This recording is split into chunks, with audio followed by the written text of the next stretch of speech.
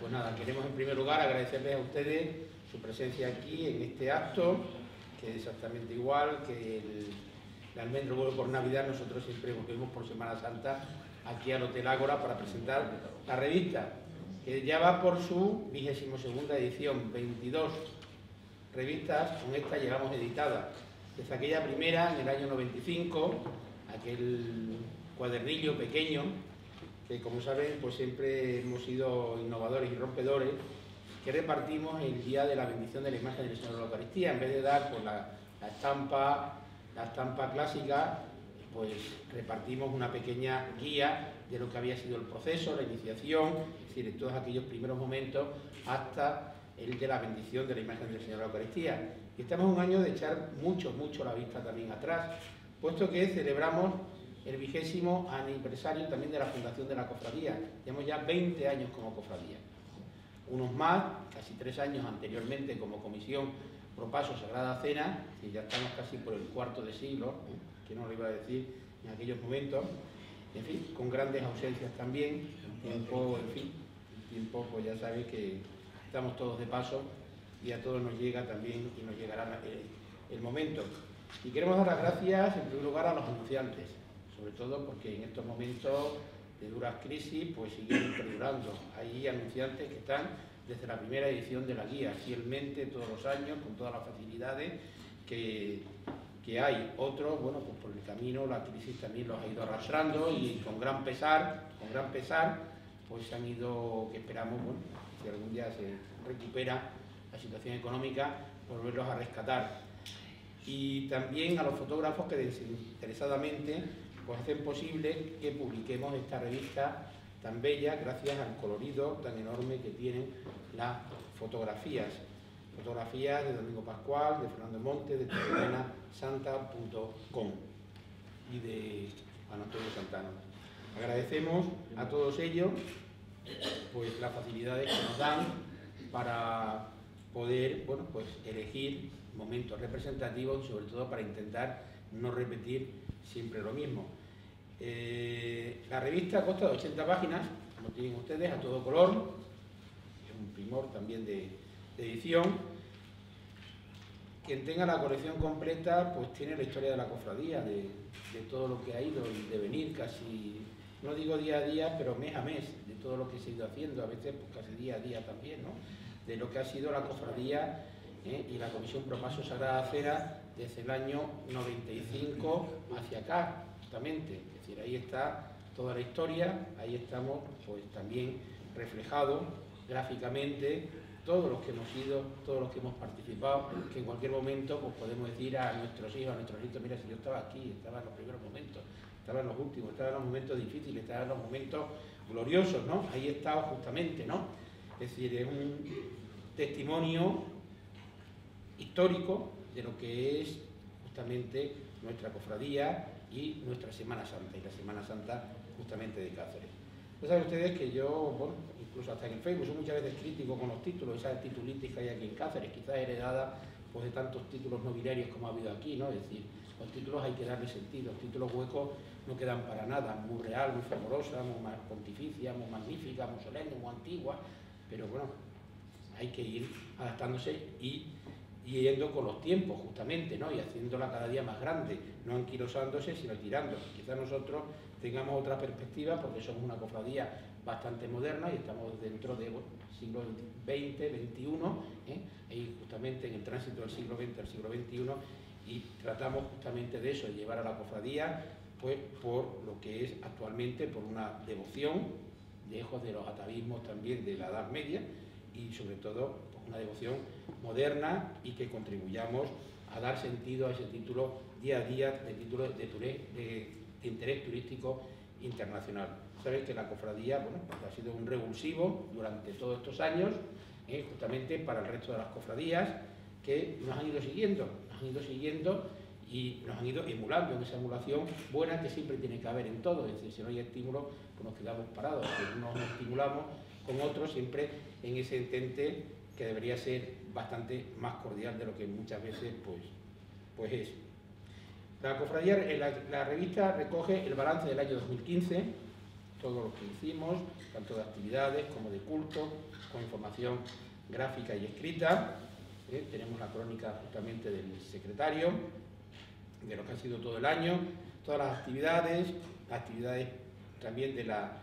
Sobre todo ya saben que estamos bastante volcados con el grupo juvenil, y los jóvenes es el futuro de las cofradías y tenemos que irlo pues eh, sumando al día a día de la cofradía, a la participación y sobre todo a que cojan ese cariño y ese orgullo de ser hermanos de la cofradía de la Sagrada Cena.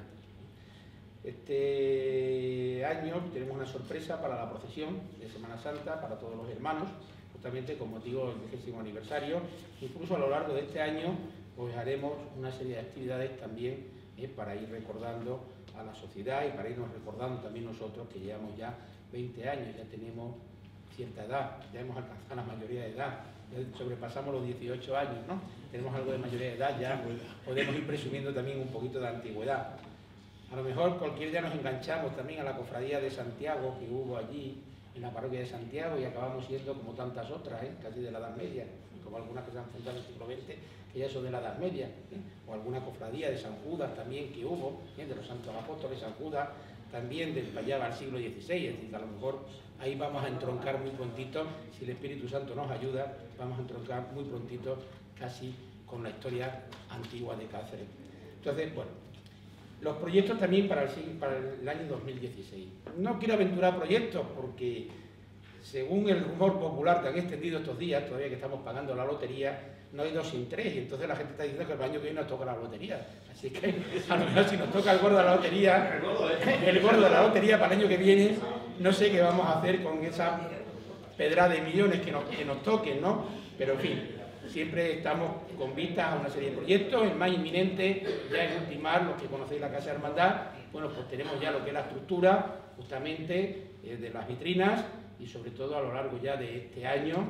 Eh, vamos a ver si para, no sé si para la fiesta de la Eucaristía nos va a dar tiempo, pero vamos a intentar, por lo menos para San Judas Tadeo, tener ya tapizadas y preparadas todas las vitrinas. Es decir, que ya quede perfecto orden y, todos los barrios que tenemos arriba quitados del medio, que quede aquello ya visible y presentable para todo el mundo, ¿no? Para la cofradía. Y en fin, y algunos más. ¿eh? Entre ellos, bueno, pues estamos también con el niño, un niño Jesús para la imagen de Nuestra Señora del Sagrario, también de un escultor de categoría. Todo siempre dentro del círculo de Dubé de Luque, porque yo creo que, en fin, nosotros tenemos una unidad y una coherencia en cuanto a conjunto, en cuanto a imagen, y entonces, bueno, estamos siempre en torno a Dubé de Luque, todas las imágenes de Dubé de Luque, la última del ángel de su hijo, y el niño Jesús va a ser uno de sus discípulos también más destacados ¿eh? de la imaginería sevillana actual. Hay también información en la revista, hay artículos, artículos como el de, don Juan Manuel, que yo les invito a leer justamente, ¿no? que es una reflexión que hace bastante interesante sobre lo que la actualidad de las procesiones hoy en día, ¿no? Una procesión un rito anticuado hoy, esto ya, hombre, para nosotros no, pero hay mucha gente ahora en la sociedad y con mucho poder que pueden, quizás, no sé si puedo, ¿eh? que pueden, pues que se están planteando justamente el tema de las cofradías, de nuestra salida, de nuestra existencia, de nuestra supervivencia, de que si estamos desfasados, de que si no estamos. Yo creo que ahí los que podemos somos los cofrades con nuestra respuesta, nuestro esfuerzo y con afianzar y asegurar todas estas tradiciones. Tradiciones que, bueno, que como ya he dicho antes, se han ido renovando, no lo mismo la Semana Santa de hoy que la Semana Santa cuando era pequeño, y tuvimos una reunión y estuvimos hablando de muchos aspectos, ni mucho menos que la del siglo XVII ni que la del siglo XV, es decir, no tiene absolutamente nada que ver, hemos ido evolucionando exactamente igual que nosotros y yo creo que forma parte de nuestra cultura, de nuestra tradición y de nuestra fe el mantener, y nosotros los cofrades tenemos esa obligación justamente de mantener, ¿cómo lo mantenemos? Asistiendo a los cultos, asistiendo a la procesión y públicamente pues también defendiéndolo. Que dicen que el que calla otorga y muchas veces bueno, pues nos callamos por, por poner la mejilla, por no responder, pero yo creo que sí que podemos nosotros justamente ¿eh? Esta ola tan laicista y tan anti-Semana Santa que se está extendiendo, en intentar también alzar nuestra voz y decir, no, no, me gusta aquí también estamos bastantes millones de personas ¿eh? que estamos justamente a favor de esta tradición. Yo les invito a leer el artículo de don Juan Manuel y también el artículo de Ricardo,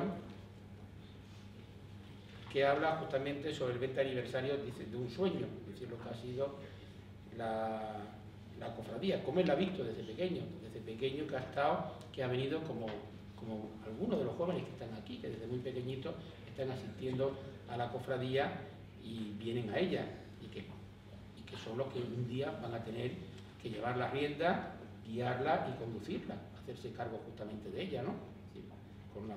Con los tiempos. Entonces, los invito también a leer esta reflexión y todas estas impresiones de Ricardo, desde su bueno, hoy ya de mayor, de adulto, pero como él veía justamente de niño, por rescatar algunas fotos históricas, algunas de ellas, pues el momento de la, del momento de la presentación, cuando nos presentó la imagen del Señor de la Eucaristía de en su taller, de la primera Cruz de Mayo, y sobre todo, bueno, puesto también esta fotografía como homenaje a Antonio y Mercedes, que no nos acompaña, Antonio ha hecho cinco años que falleció, y Mercedes lo va a hacer pronto, siempre también como homenaje a ellos, porque nosotros lo tenemos siempre, siempre, siempre presente en, nuestra mente, en nuestro día, como sucede pues como hay la Virgen de la Montaña que tiene allí esa lápida sepulcral de su fundador Francisco de Paniagua, ¿no? Es decir, quien se acerca a ver a la Virgen, pues se también de los orígenes.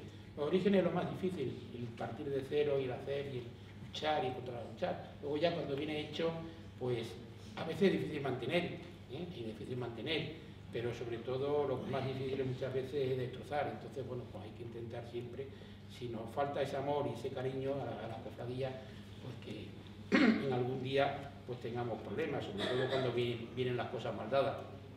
Y animo a los jóvenes a que a sus amigos también los vayan integrando poco a poco, los vayan trayendo y haciéndole pues eso, ¿eh? entusiasta de la Sagrada Fe. Hay aquí un amplio reportaje, justamente, bueno, porque era lo más, quizá lo más destacado, ¿no? Lo más novedoso del año pasado, ¿no? Fue la salida procesional y como ven ustedes, sobre todo, bueno, pues estuvimos muy contentos por la amplia respuesta de hermanos, como podrán ver ustedes en la foto, tuvimos muchísimos acompañantes, hermanos acompañantes y muchísimos. Y desde aquí también ya les quiero hacer un llamamiento a todos los hermanos, porque el Viernes Santo va a salir la cofradía también en Santo Entierro en planta de procesión. Vamos a llevar las insignias, entonces bueno, para que vayamos pensando todos los hermanos en, justamente en, acudir a la procesión, no con los capuchones, los niños con su parita, como antiguamente hacíamos, ¿no? Y con las insignias.